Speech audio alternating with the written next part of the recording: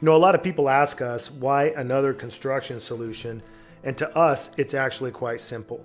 You know, over the years, customers have told us that they are looking for construction solutions that are easier to use, that are more affordable, that are more complete, and yet can be customized to their own specific requirements.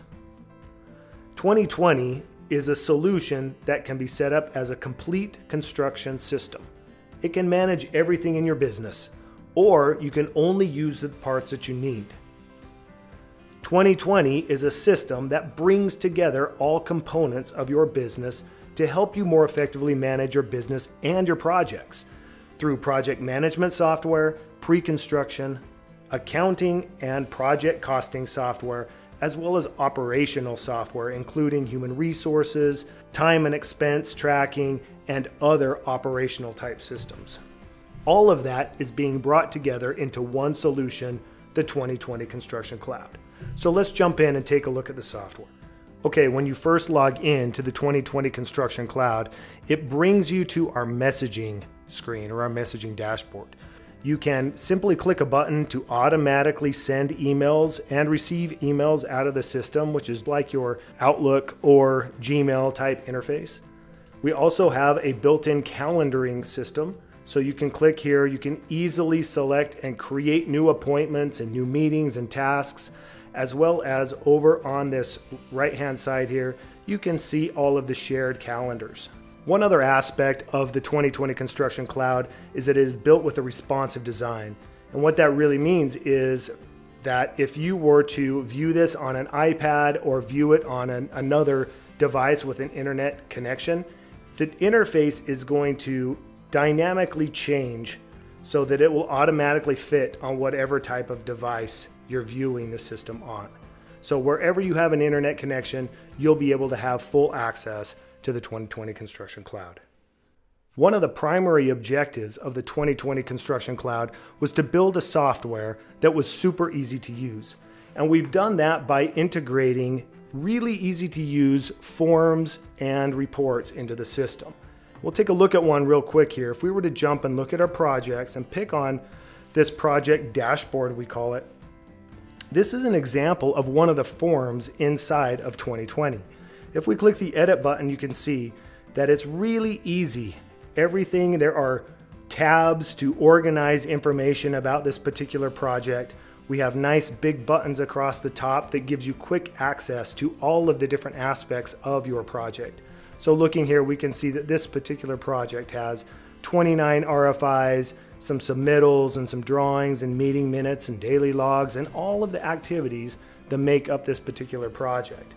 Down below, we can also keep track of the project stakeholders and all the contacts that are associated with this project, any important dates, and drag and drop any attachments, and we can keep all of those and preview them easily simply by clicking the button.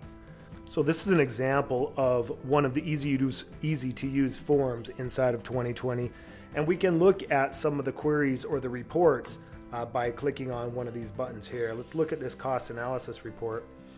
And inside of these queries or inside of these reports, not only can we see all of the real-time information related to this particular project, but we have the ability to search for specific records inside of here. We can group it certain ways. For example, I want to group this by group so that I can see my project organized by division.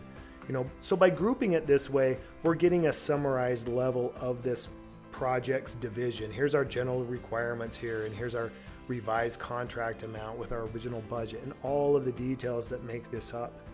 If we wanted to see the specifics of what made up the general requirements, we can open that up and we can see all the individual cost codes or analytic accounts that make them up and all the related details associated with them. We could just as easily come here and clear this and group it by project, and that will summarize our whole project by all of the columns shown. If I were to select the group, then underneath the project, I'm going to see again a categorization of this project here. So there's a lot of great ways to group and to filter the information that you see on the screen so that you can come up with a report that makes sense for you and delivers the information that you want to see in the way that you want to see it. Once you have this report set up, you simply need to come over here to the favorites and save your search. We'll call it Brant's report. I can use this one by default and I can also share it with other users. So I can go ahead and save this here.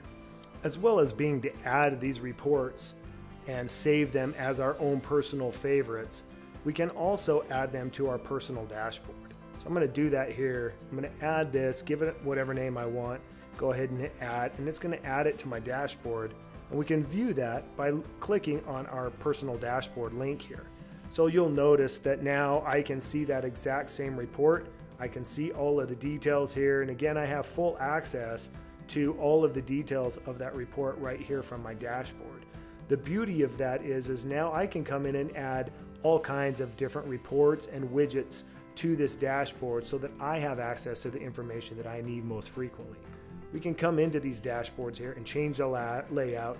You know, so if we want to see, you know, a two column layout or however we want this dashboard to view, we can actually have access and control over that. One problem that we typically hear from contractors is that they usually have up to five different systems that they're using to manage their projects and manage their businesses you know, from an estimating application to project management and accounting and human resources. And then they usually have a ton of spreadsheets in there as well to kind of keep everything in order and keep everything on track.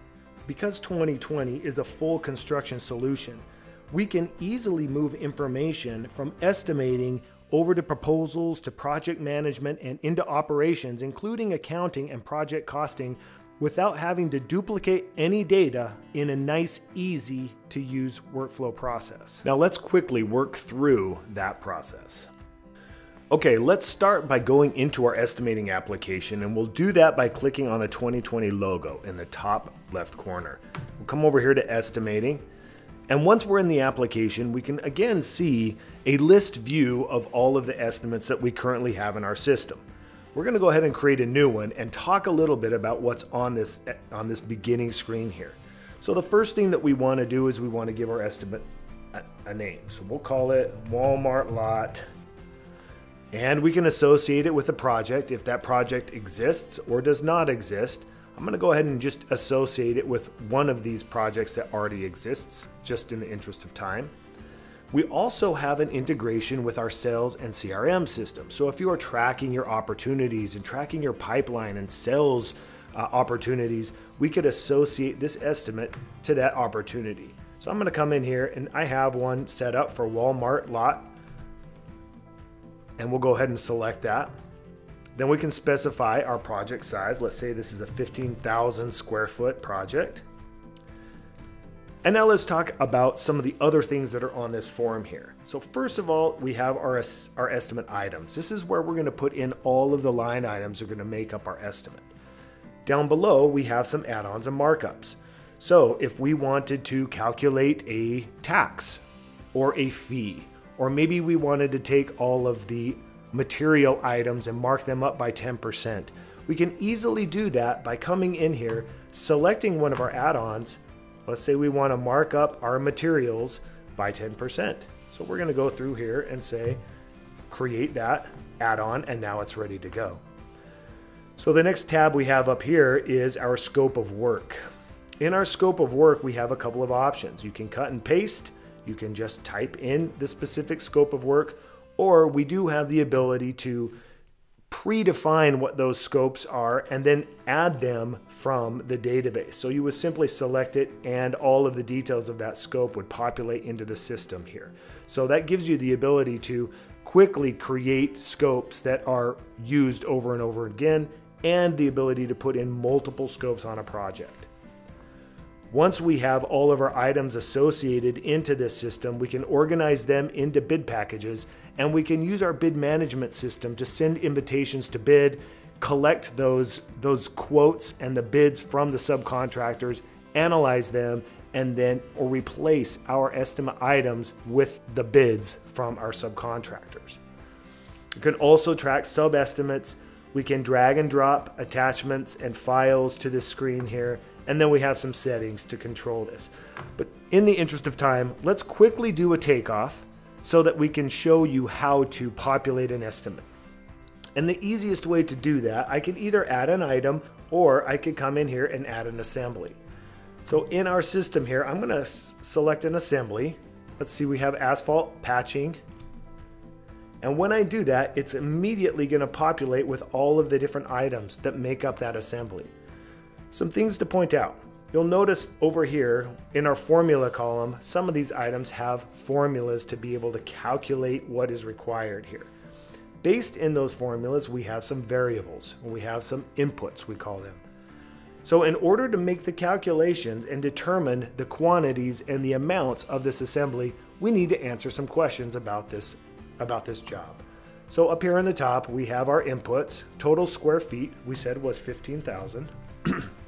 The next question is, what is the depth of asphalt in inches? We'll say we're gonna do a six foot depth and then the depth of the base course in inches. We'll say five. Once we've filled in our variables here, we can go ahead and calculate totals and it will use the definition of this assembly and the formulas to calculate all of the different values that we need for this particular assembly. When we're done, we can simply hit add and it will take all of those items and it will add it into our estimate. So now quickly looking at this estimate, we can come through and we can see all of our total costs have been populated from that assembly. Some of our prices have not been calculated yet. So we can come in now and we can start adding in some, some markups. Let's say we want to put in a fee. So we'll come here, edit, and we're gonna add in uh, overhead in the amount of 10%. Select and calculate. So when we go through and do that, it is going to use these add-ons and markups in their order to make adjustments and calculations on all of the different items in our database. So we won't spend a ton of time on this, but I just want to show that now that we are calculating all these items, up here in the top of this estimate, we can start to see some breakdowns. So here we can see all of our costs broken down by labor, material, subcontract equipment, and other costs, what our estimated costs are, and what our proposal price to our customer is going to be. The next thing that we want to do is to generate a proposal. What we need to do now is click on the Schedule of Values button here, and it's going to show us a listing of all of the different items that we have in our estimate here. You'll notice that it says undefined. That simply means because we have not defined any schedule of value for these particular items yet. So let's do that now. Let's select a couple here and let's assign them to a schedule of value. And again, it's gonna pull from our list. We'll just come in and say this belongs to this schedule of value here. Now we have eight that we still have not assigned. So I'm gonna open them all and I'm going to select them and I'm gonna assign them to another schedule of value. Now looking at this, I can see here's the two schedule of values that are gonna show up on my proposal. And here's what the proposal price is for those individual items. Now really quickly, to create a proposal, all I need to do is come over here and hit the convert to proposal button. This is gonna automatically generate that proposal, that presentation of your estimate to your customer, and we can see the details here. Now we've created a proposal, there's a button right here that I can click and view my estimate if I need to refer back to it. But now if we want to print it, we simply need to come up and come into here and print our quotation or our order. That's going to create a PDF version of this proposal that we can then send out to our customer. So here's a proposal. There are the two schedule of values that we put on there with their values. If we had put any scope of work, it would show up in here and now you have a proposal that you can send out by email to your customers. So very, very quick. Once you've sent that proposal out to your customer and they have accepted that proposal, you simply need to and approve and validate it and set your proposal, which is now turned into a full contract, set it to fully executed. And at that point in time, it's going to automatically create the project. We can see our project in our project dashboard in a couple of ways. The easiest way here is to simply click on the hyperlink in the form, and this will take us to that project. Now, based on what we, what we created in our proposal, it will automatically build out our budgets for this project. So if we click on the cost analysis report, we can see our two budget items that we created, and here's now our revised contract and our revised budget for each one of these items. So this allows us to start controlling our costs. We can create subcontracts and purchase orders very easily. We can create invoices and track them against those subcontracts and purchase orders. It's very easy to create a subcontract change order or even a prime contract change order right here within the system. And we'll have other videos that will go into more depth and talk about that in greater detail. So very quickly, we have gone over a high level overview of the interface. We've looked at some of the reporting features, the ease of use of the of the forms to enter in the data, kind of walked through that estimating process, automatically send out a proposal and automatically created the project. But Twenty20 can be much more than just a project management and accounting system. If you click on our logo up here at the top, it takes you to a menu that will show you a lot of things that are installed into this particular system. For example, sales and CRM, the ability to track all of your prospects and your opportunities and track them through a sales pipeline so that you can get to that stage where you're going to create an estimate or you're going to create a quote for them. We have a full purchasing system to be able to track your inventory and manage those warehouse locations and moves from one location to another if inventory is important in your business. Payroll and timesheets and human resource management. We can track your fleets and the equipment maintenance. You can see that Twenty20 can be a full solution to manage every aspect of your business. But again, you can only pick the parts that you need that maybe you want to use to complement your existing software. So hopefully this overview presentation has given you a good idea of what Twenty20 is, what it's capable of doing, and how easy it is to move from the beginning of your project all the way to completion. We look forward to having the opportunity to show you more of what Twenty20 can do and how it can benefit your company. Feel free to shoot us an email, give us a call. We'll be happy to set up a personal demonstration and answer all of your questions.